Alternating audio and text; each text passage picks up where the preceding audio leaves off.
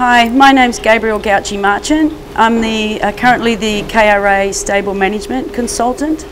Uh, my company is Equine Goals and Dreams Australia. I'm a member of the International Federation of Horse Racing Academies, which covers 32 countries. We meet four times a year in Abu Dhabi and we share best practice on global education and training in the horse racing industry. Um, Today we're going to cover a little bit of equine body therapy, which I've been uh, doing since I've been in uh, Busan and also be doing in Seoul. I have a couple of students here who are working in the stables that are, are currently training with me to learn this.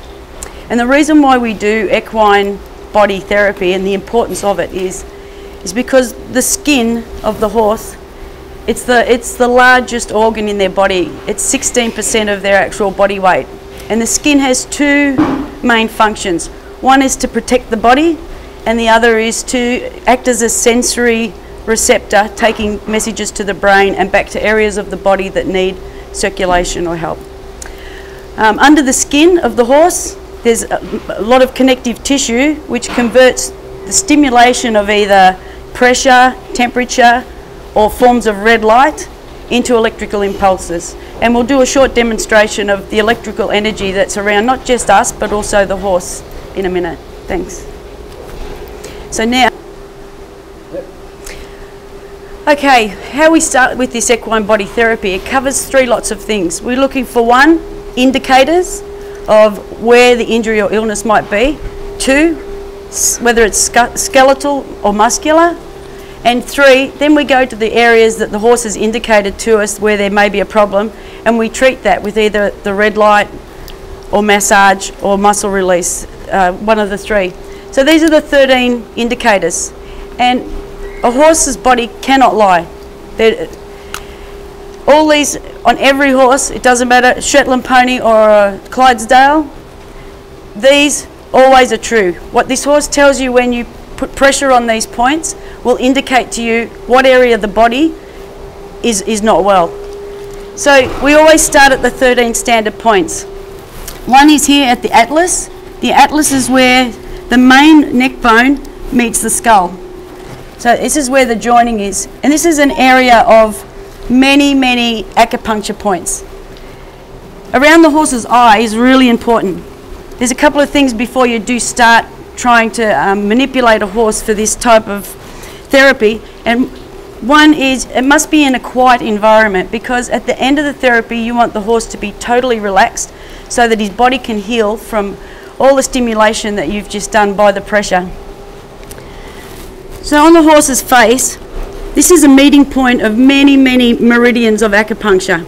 And acupuncture is like, it's not Western medicine or anything, but the Chinese have done it for 500 years. So they've pretty much got it right. What they've done now is they've converted it into other animals, into different species. So we've now got a map of acupuncture points on the horse that tells us where to go to treat different illnesses and injuries. So this horse here has many, many points around the eye. So when he gets a bit agitated, if you massage those points and pr put pressure on those points, he'll eventually start to calm down. His body will calm down. One thing you've got to remember when working with horses is a horse can feel your heartbeat or your pulse from 50 metres away. So if you walk into a paddock, the horse is 50 metres away and you're anxious, the horse will feel that and he'll run away. So when you work with the horse, never come in if you're frightened don't come in because the horse straight away will overpower you. You have to go in, lower your heart rate, be calm because when you lower your heart rate and you touch his points, the horse then also becomes calm. So the standard points we start with are at the atlas, and that's where the head joins the body. Their, their head is very, very heavy, and there's seven bones in the neck. They go from here to here, and they're supported by quite large muscles which get very, very tired because these horses, race horses, they're equine athletes. They're an elite athlete, just like a football player, a soccer player that are going into a FIFA final. When these horses go to the races, that's their FIFA final, that's their grand final. So they have to be 100% body tuned, body fit, muscles, muscles uh, supple, so that their skeleton can work to its optimum. So now with these lines, this one here, the indicator one, we just go down that in a sort of a crisscross manner because we know that many, many nerves meet here. And the different reactions that we get from that will tell us whether he's sore somewhere. So he's sort of turning his head, he's turning his nose away. So that straight away is indicating to me that he's, he's got a problem somewhere. It'll, it'll skeletal, so it'll either be in front or behind.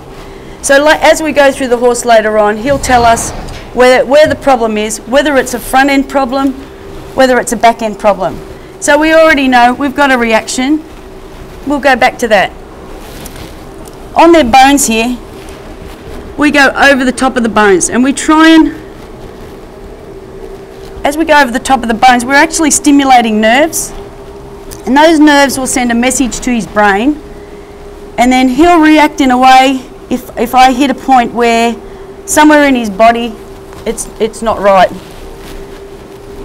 This is front end. So, so far so good. Then we go underneath them. That's, that's pretty good. If he had a problem in his front end, he would react in a way like he would shake his head, he would turn it away from me. But he's, from here up, this horse is pretty good. Another thing is you'll notice when I stimulate some of these points, I like to look, keep an eye on his face because when they do things like lick their lips, yawn, they're actually releasing some endorphins because you've hit a point that circulation, that means the message has gone to his brain, it's coming back to that point and resetting. So we've gone over two, so that's the second one. All right, so He's got a little bit of skeletal pain somewhere. I don't know where yet, but it's not in the front end. Now we go down, this is his um, collar groove. You go down in three, you start at the top of the shoulder. The pressure that I'm using is, is a little bit as if you're putting um, butter on bread. It's not hard, but it's enough to go down the points to get some type of reaction. So I go down here, first stop, nothing. Second stop, nothing. If he had knees or joint problem, I would have had a reaction. Down here is now heading towards his, his back end. So he's not really reacting, but under my finger, I've got like warning. So he said, I've got a bit of, I've got a bit of bone pain, and it's probably at the back. The fourth point here is it for teeth. Down, right down here, this is all connected to his brain and this governs all this part of his head.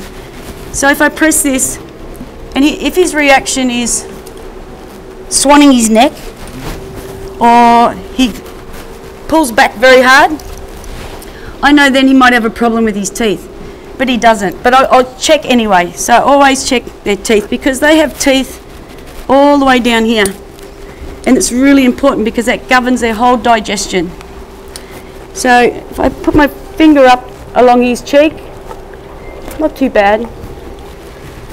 If he had very sharp teeth, I would have had a bad reaction. So I know all this end okay, teeth fine. The fifth one here is on the cheek. This, this point here, just underneath the cheek, governs the feet. So if he had corns in his feet or um, a problem with his feet, I would get a pretty severe reaction. So I just go underneath the, the cheek. And he's fine.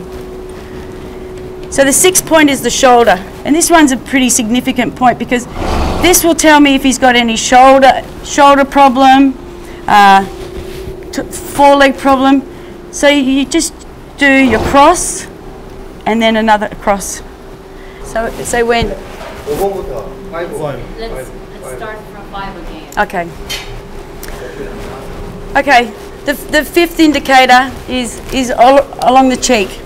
Just inside the cheek, governs his acupuncture points for his feet, can indicate corns, um, nails through his feet. You know, eh, if he's got any foot problem, the reaction here would be quite savage. But he's okay. The sixth point on his shoulder, I'm getting to that, matey. He's trying to help me. So here, the sixth point is a massive shoulder muscle. Underneath that is his central nervous system. It goes in a crisscross like this.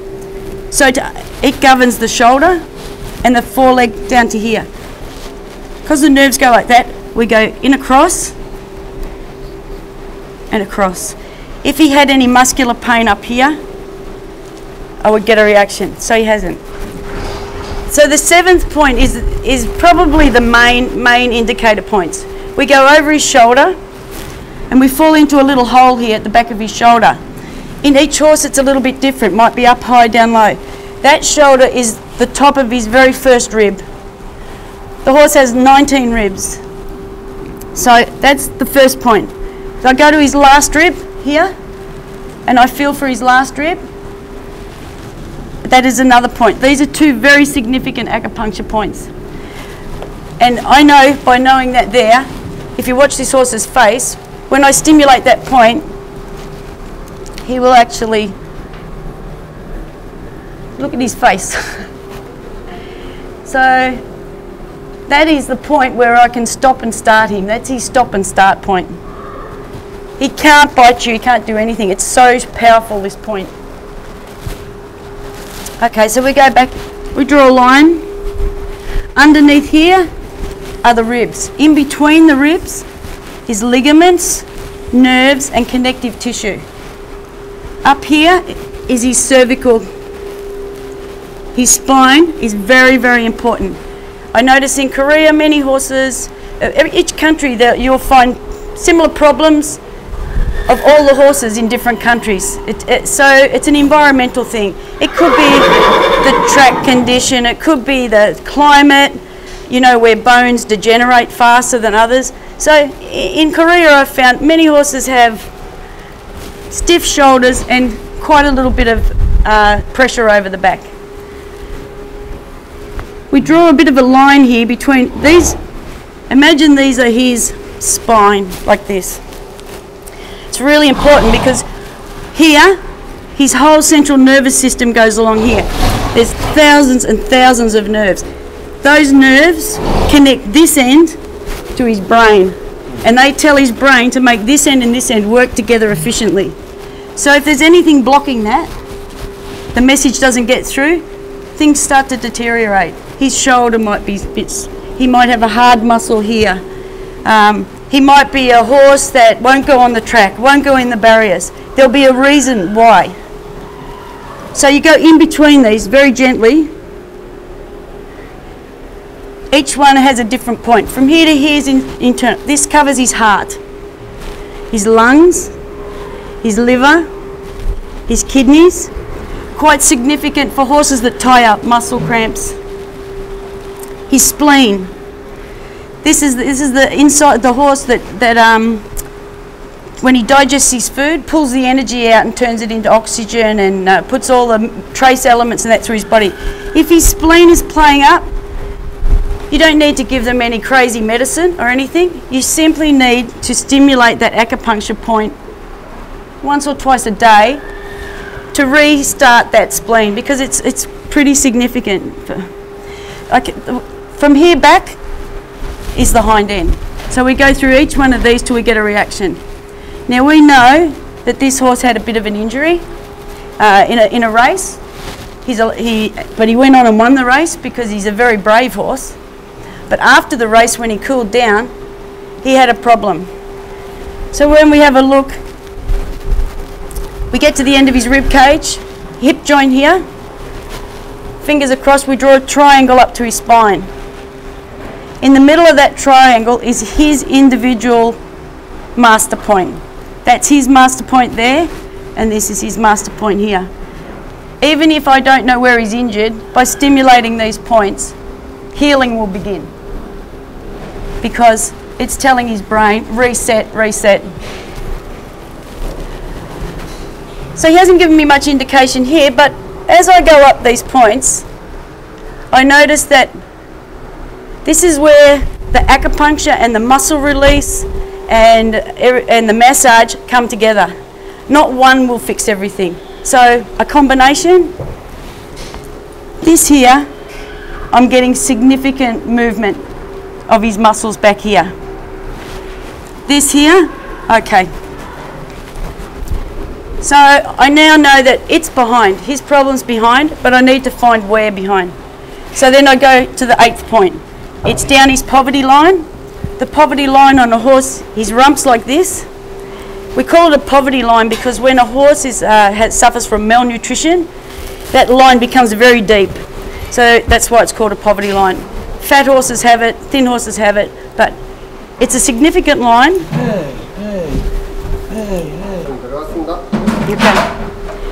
Okay. Okay. Point number eight is down down his poverty line here at the back of his rump. There's a small indentation line. We call it the poverty line because when a horse suffers from malnutrition, that line becomes very deep. All horses have it, fat or thin horses, but it's significant because it's a hollow line. It, it holds many, many acupuncture points. So I go down here. I'm not getting much reaction here, so his injury is not back here. So now this has told me behind, up high, but not back here. So here is his huge, huge hip joint. There's a, it's the bone closest to the skin. Many, many acupuncture points. I think we're getting a little bit closer to his injury because I'm feeling already underneath he's not comfortable. Then we've got 10 here, which is just below the hip joint. And that's, his, that's where his pain is. So you'll notice the horse is leaning in towards me when I pressure this point. He has significant pain in his hip area. So that's one, up on top, two, three, uh, 12, quite significant. This is the number 13 is the most important. This is the highest point of the horse, and in Chinese, it, Chinese language, it's called Baihui in um, acupuncture terms. Baihui means the highest point. So you run two lines. One is muscular, and one is skeletal. I'm getting a really significant reaction to muscular, muscular and ligaments. So now those 13 points have led me to this conclusion. He's told me here there's something wrong with my bones. Down in here, everything from here on is fine. Back here, problem.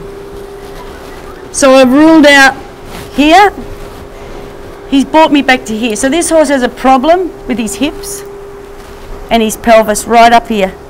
And I think if I hit this point, he'll probably kick me head off. But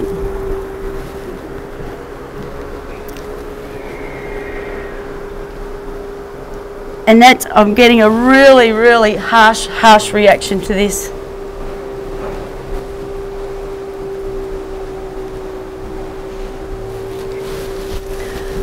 So here, this horse's problem is here. And the injury that he got in that race, now he's starting to let go. You can see now his back is starting to react. So these little indicators here, these are the points that I will hit with the torch.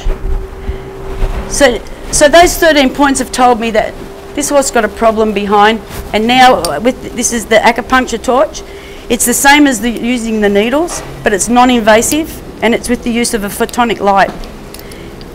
So what happens is, we know where approximately his all his meridian points are. So I'll go over the the main points that will help his injury. So we always go back to the indicator points again for the first one. One. You only need five seconds of this because what's happening here, this red light is penetrating his skin, is penetrating the connective tissue, and it's actually going to the cell of the meridian point. The red light hits the cell and it turns the nucleus of the cell upside down. So when it flips back over, it's like restart. So it's at, at the moment it's spinning this way. When the red light hits the acupuncture point, It's the same as chi, when the needle comes out, it reverts the opposite way. So we'll settle this horse back down again when we do all these points. It's only five seconds. Five seconds.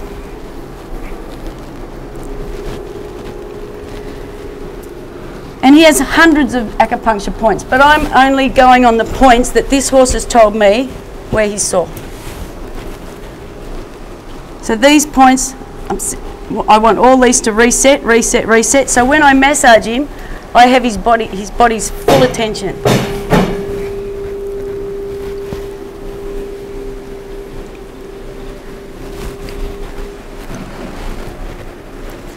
And really, um, this type of this type of therapy, it's not rocket science. It's just listening to your horse and understanding how to keep an athlete at optimum fitness.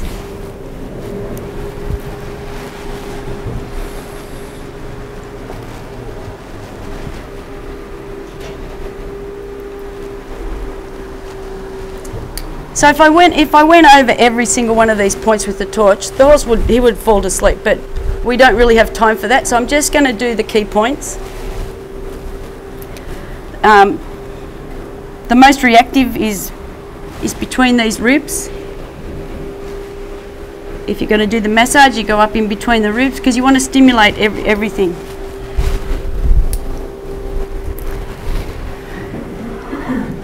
And um, the reason why I liked, I've enjoyed doing this in Korea and showing some of the grooms how to do this is because it's something that when I go back, I know that the grooms will actually be able to do it, even with their fingers. Any acupuncture point is simply pressure. Remember at the start we said about the skin, connective tissue, pressure. We, we're using the red light because it just is faster. And you'll notice I'm just putting the lights on the numbers because that's his standard points. But we know he's got an injury up here. So long-term treatment for this horse, I would come in and I would probably do all around his hips, the top of his pelvis, across. They've got so so many acupuncture points. So that's virtually just the nuts and bolts of a basic um, diagnosis with the standard points and using the torch. For the massage, which is probably the most important because the horse's body is massive, massive muscles, and they have to carry this huge frame, and they need their muscles to be so relaxed and the connective tissues to be smooth and have no dents or strains or anything. So there's four or five different. Sorry, there's four or five different um, massage techniques. This horse, if a pre-race massage would be soft, you would just use the, your fingertips, and you would go over each one of his large muscle groups. Because each time you pressure it, you start you send a message to his brain, and he'll start to release. So we've nearly had enough of this horse being an alligator, but once we get to here, oh, we'll nearly put him to sleep in a minute. So you go all over his muscle group. You just follow his bone structure. You go inside his, his shoulder. This massive muscle here comes down inside the shoulder, under here, and this is where we strap the saddle on. So we're asking a, a lot of this muscle. Up around the top of his shoulders. And now massaging these points along here, you'll notice now this horse will just completely come around to us.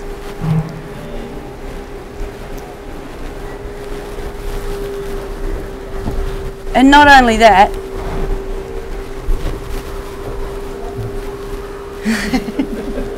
I mean, seriously, his face is telling you.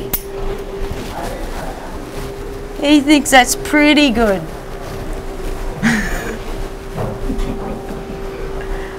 because what's happening is, as I'm massaging him, I'm sending so many messages to his brain to say, relax.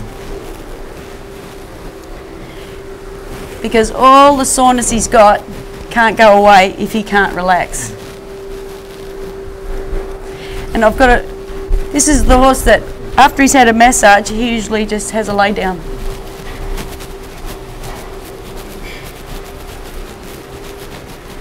But he's saying that's pretty good. So the different muscles, we use different techniques.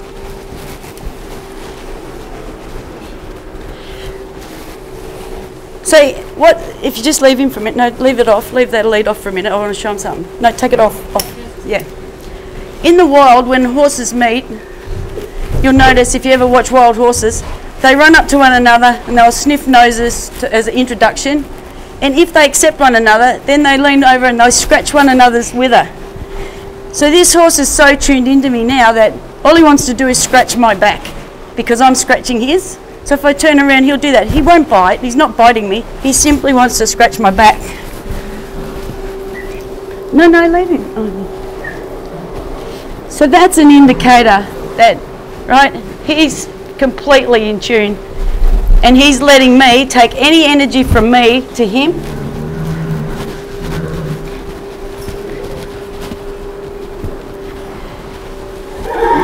And that's acceptance. And I mean, what is he? He's a he's a big stallion. Probably weighs what 520 kilos. And well, I'd like to say I'm 50 kilos, but that'd be a lie. But um, but he can't do anything just with two fingers. He can't move this horse because that's his master point. I don't want to. I don't want to scratch your back anymore. Oh, all right, one more. It's pretty good, isn't it?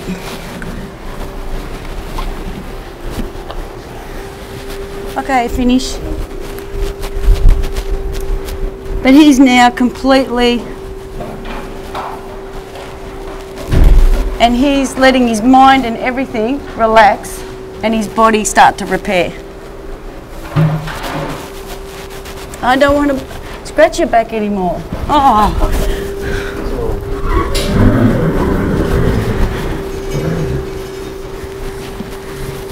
Okay, enough, enough, enough. Ah. Okay, that's enough, enough. So that's virtually what it is. It's equine body therapy. It's getting in tune with your horse. It's learning his body language, learning some indicators that can help you find koala. he wants more. So if he plays up, I just go back to this spot and stop him again. So that's just one side of the horse, and um, that's probably all you need to see. It's not, like I said, it's not rocket science. It's using a combination of acupuncture, stimulating uh, Chinese acupuncture meridian points. It's understanding your indicators, where to find. Your horse can't speak, but his body does speak. And then using your hands to help fix them because all their bones is connected by muscle and, and tissue. The ligaments and everything. You can put bones back into place if you can manipulate the muscle and massage it. But if you, if you pull the bone out and you don't look after the muscle, it will just fall back out again. So that's it. Thank you. All right. Okay. We've gone over indicator points, 13 indicator points. We've gone over some basic um, Chinese meridians for acupuncture, and we've also gone over massage. So these are the points for the front here. Bone. Underneath his, underneath the bones of the neck.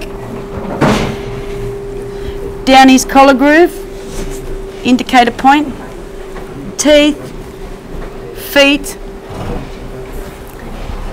Second part of the horse, the se seven points, vertebrae.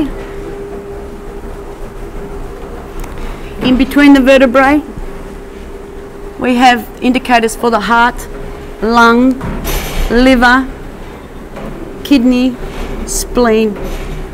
Back half of the horse here. Pelvis, hips. Ribs, in between the ribs, ligament, many, many points. For the back half of the horse, the main points we cover hip joints here, poverty groove here, Baihui. Chinese Baihui means the highest point of the horse, the joining of 100 points. So this point here is the master point for all of his body it meets the brain. Furthest point, highest point. Okay. All right, there's many different types of massage and we do them for many reasons. We can do remedial massage for, for illness injury or we can do a pre-race massage which is before your horse goes to the races, just make sure that all his body is uh, balanced, all his muscles are stretched, like a, a uh, like a warm-up. After the, the post-race massage is much more aggressive. The pre-race massage is very soft. We only use just the top, tops of our fingers to just gently massage the horse's points. So we'll start with his head pre-race and we just want to massage and stimulate all the points around his face. He wants to eat me right now because he's hungry. So you just do all around the head, around the ears. Because all around their ears, see here, there's many, many muscles and nerves. So you just gently stimulate that because that then starts to send relax to his brain. Then we go down the rest of his body, his neck, and we just feel that no tears in the muscle, no knots around his around his collar groove again with our fingers. Draining here. Because these muscles, if he's going to the races today, they're going to have to pull him. When he gets tired, he's a big horse. All along his spine. Make sure no areas, oh look out, here he comes again. Make sure no areas of pain. Good. And this big muscle here, this is his driver muscle. He needs this to push. They pull with the front, they push with the back. So you make sure this muscle has got nice movement, not stiff. Especially the hamstring, massage all along his hamstring, all his major muscles. Most important is this one here comes down, the girth muscle here. At the end of the race, when the horse gets tired, this is, this is the muscle that will shorten stride and the horse will go slower. So you make sure this is stretched. On, Let's pull him just a bit. Come here. Why? So when you pick up his leg, you make sure you always support support his foot. s- Always support his knee. Now I, I want this muscle here to be stretched right out. Hey, big boy. So I'm really slowly going to bring it out all the way, all the way, until I feel his leg relax. At the moment, it's not relaxed. But if you if you have a look there at that muscle, that's the muscle he's going to need at the end of the race. And then always support his leg when you put it down. Feel good. So you go all over the horse. Start with his head, meridian points in the face, all along his neck meridian points, shoulder. You feel every large muscle group in this horse and make sure that he's ready to go. Because he's going to need those muscles to be super, super supple to stretch out. So if I could just get Sully, Sully, Sully. So since I've been here, there's been quite a few grooms that have, have um, come and actually done a little bit of massaging with me. So Sully's just showing a pre-race massage inside the shoulders, soft, soft, up along his back, along his, this area here, gentle, gentle, up here. And you'll see he's using the tips of his fingers. And you'll also notice by watching the horse, if you keep your here, watch the horse's face, relax.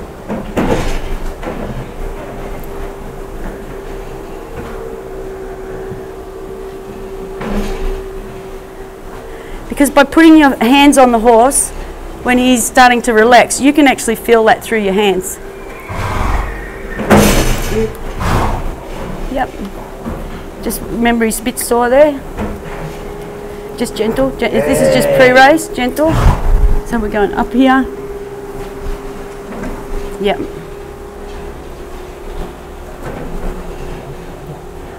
And if you, can you just drop the lead? You can see by his face, he's found a point on this horse that needed a massage. See, look at his face, Sully.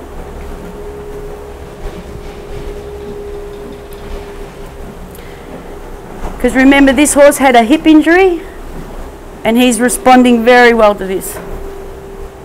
Uh-uh. Okay. Now go forward again. Go forward to here. Forward. Yeah. Yeah, forward, forward. Okay, so that that's the um okay, thank you. That's the pre-race massage. Now um, Mr. Park will do the post-race massage, which is a little bit more aggressive, and it's more. Uh, he'll he'll when he touches the horse, he'll use a little bit more force because he wants to push all the lactic acid build-up out of the muscles. So I'll hold him if you do. You do him from here to here, like No, yeah. not too hard, just. Pretty boy. So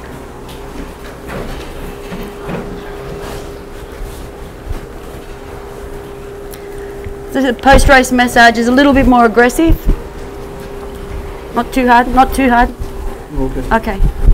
And then along his back. Back, along his back, all along his back. Yep.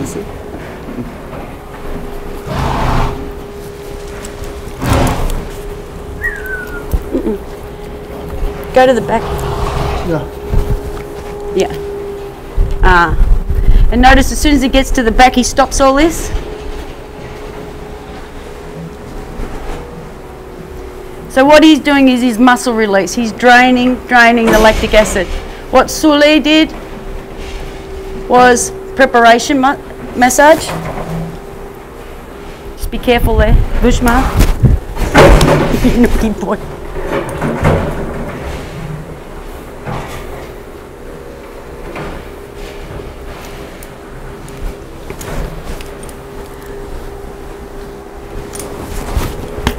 So I think you, you, you get a different idea. One was soft, one was hard. So, Sully, do you want to come back?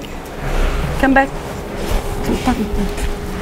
So, so these two, these my two students here. Uh, He did the pre-race massage and he showed you example of the post-race massage. So it's not that difficult. We learnt this together in probably a week and now these boys will look after their horses in Korea. Thank you. good. Thank you.